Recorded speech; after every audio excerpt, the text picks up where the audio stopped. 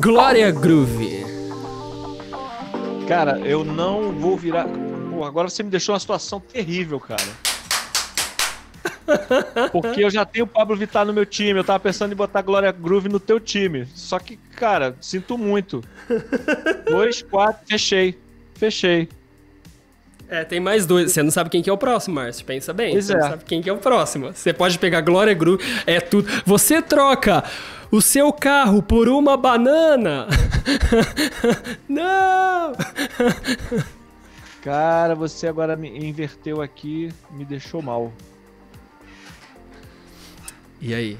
Pensa bem, Márcio. Tem mais dois. Além de Glória Groove, tem um outro aqui. Pô, sacanagem. Gosto muito. Gosto muito da pam. forma como canta, entendeu? Vamos fazer o seguinte, vamos virar os dois. Não, você viraria? Pra Glória? É.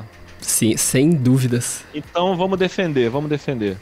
Então, beleza. Então vai lá. Vamos defender. Eu vou defender pelo seguinte: eu acho é, Glória Groove é uma pessoa que conseguiu fazer é, um trabalho artístico sem é, é, tentando é, se manter dentro de uma linha que não forçasse muito a pessoa a mudar a estética, a mudar a voz, a criar uma série de ferramentas em volta da personalidade para poder construir o seu espaço. Né? Eu, eu acho muito legal a maneira que canta, eu gosto da autenticidade da forma de cantar. Você vê que é, Glória Groove usa a parte grave da voz quando precisa usar. Né?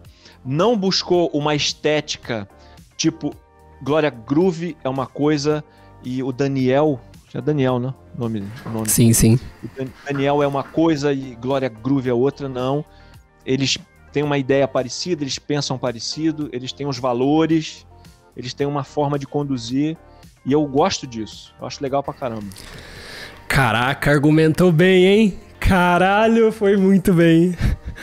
Que, que eu falaria pra defender pra que Glória viesse pro meu time? Ô Dani, tamo em casa, meu irmão. eu sei que santo de casa não faz milagre, né? Mas porra. Pô, lembra daquele café que a gente já tomou?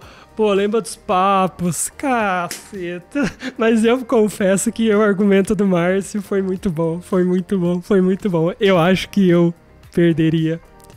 Perdeu nessa? Eu, eu acho que eu perderia. Tá, então meu time fechou. Tá, e aí tem o próximo. E agora você vai ver que você fez a maior caca da sua vida. Tô brincando.